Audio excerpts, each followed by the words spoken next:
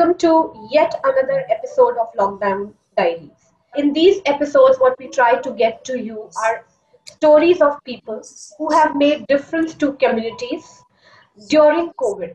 And today, again, I am joined by Rommel from Manila, who has made immense, immense difference to the communities in Philippines.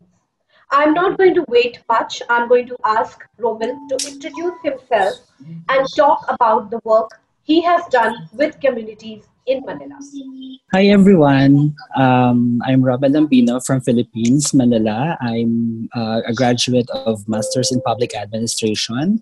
Um, I used to be a politician, um, a former professor as well, I'm teaching political science and personality development. Currently, I'm working at EXL Service Philippines, and I'm very happy. I'm very lucky, you know, that you know I'm part of EXL now um, with, with regards to the uh, community project or community event that um, I did during the uh, pandemic, um, you know what? Um, ever since I was a child, it's my dream, you know, to to really have my own charity.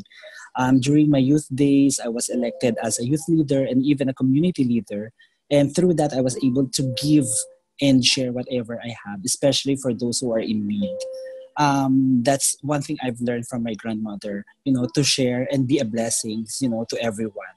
So when I got my permanent job, um, I was able to help more people in the community. So every time I receive increase in my salary, especially let's say bonus, you know, an increase, um, I normally share it with everyone or to those people who are in need. Um, just to share with you, even um, during my birthdays, I normally celebrated it with the elders in the charity because there's this one charity here in, in Pampanga or in the province of Pampanga um, which is home for the aged. So um, normally I go there during my birthday. I uh, bring lunch, you know, and you know, food, something you know that that, that we can share and eat. So during this pandemic, um, it's not really new to me to extend help to those people who are in need. We do what we did was um, we do the repacking of goods. You know, we do you know uh, groceries. You know, for for these people and for these families. Also, these families are living in the remote area, so um, really transportation is really the main issue. So without second thought, I asked my friends, I asked my family, you know, my you know my relatives to help me um, by sharing what they you know uh, for for sharing what they have. So we come up with a certain amount. So we, we go to the grocery uh, grocery store, we buy food, and then we do the repacking Okay, so first wave of um, the distribution.